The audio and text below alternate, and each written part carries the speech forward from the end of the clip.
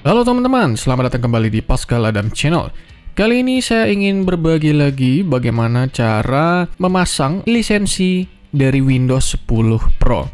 Buat teman-teman yang mungkin tertarik untuk beli lisensinya dengan harga yang cukup murah, saya udah jual. Teman-teman tinggal klik aja linknya di kolom deskripsi. Saya akan berikan garansi untuk kalian yang beli produknya di uh, saya. Jadi harganya ada sebesar 438.000. Terus apa aja yang kalian dapatkan? Oh ya, by the way, ini lisensi Windows 10 Pro original ya. Harganya itu sebenarnya bisa 3.700 ribuan, tetapi karena saya hanya jual dalam bentuk lisensi, jadi harganya 438.000. Kalian bisa menggunakan lisensi ini di 32 bit dan 64 bit, 100% original ya teman-teman, dan aktivasinya secara online. Gratis update seumur hidup teman-teman, jadi akan ada update-update yang baru, itu semua aman, jadi kalian tidak perlu takut-takut lagi upgrade dan performa tiga kali lebih cepat. Jelas dong karena kan dapat update terus. Ringan dan mudah digunakan. Lisensi berlaku seumur hidup 100% kepuasan pelanggan. Buat kalian yang ingin pesan, langsung klik aja pesan via WhatsApp. Dan juga buat kalian yang mungkin masih mau tanya-tanya, langsung aja klik juga pesan via WhatsApp. Jadi ini nggak sekedar pesan ya, tapi kalian bisa tanya-tanya dulu. Jadi harganya 438.000. Nah, jadi saya akan mengajarkan bagaimana cara memasang lisensi originalnya, teman-teman.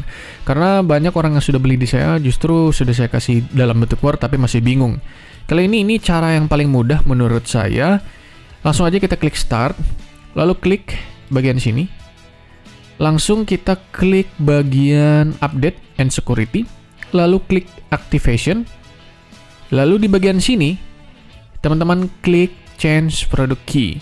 Di sini teman-teman masukkan lisensi kalian, lalu klik next, lalu teman-teman klik activate.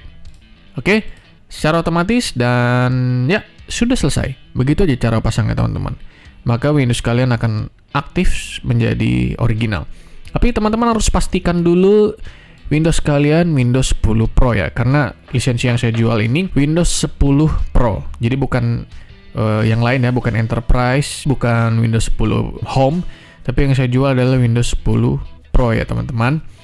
Nah, jika teman-teman tertarik untuk beli, silahkan klik aja linknya di kolom deskripsi. Dan jika masih ingin bertanya, bisa sampaikan aja di, kolom komentar atau chat saya di klik pesan via WhatsApp.